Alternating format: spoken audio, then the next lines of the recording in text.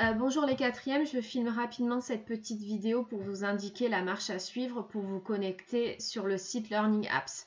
Donc ceux qui parmi vous étaient en 5e C l'an dernier ou qui au début de l'année ne sont pas partis en Auvergne, euh, vous connaissez normalement déjà le site Learning Apps.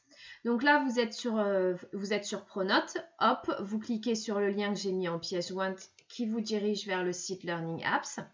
Et une fois que vous y êtes, en haut à droite, vous cliquez sur Se connecter et je vous ai créé un compte à chacun d'entre vous. Donc vos identifiants, ce sont votre prénom, point votre nom et votre mot de passe, ce sont vos initiales et votre date de naissance. Donc je vous montre un exemple. Hop. Prénom, point nom et pour le mot de passe, les initiales, donc l'initiale de votre prénom, l'initiale de votre nom et votre date de naissance.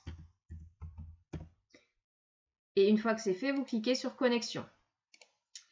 Une fois que vous êtes connecté, vous cliquez en haut à droite sur Ma classe.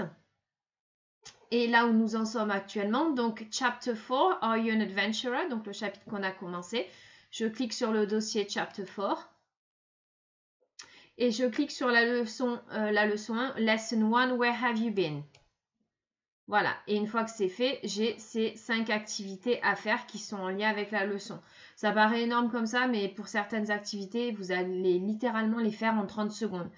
Certains, c'est des textes à trous, d'autres, ce sont des, images que vous devez associer à, à une phrase, etc. Donc, c'est pas très long. Voilà, bon courage, au revoir.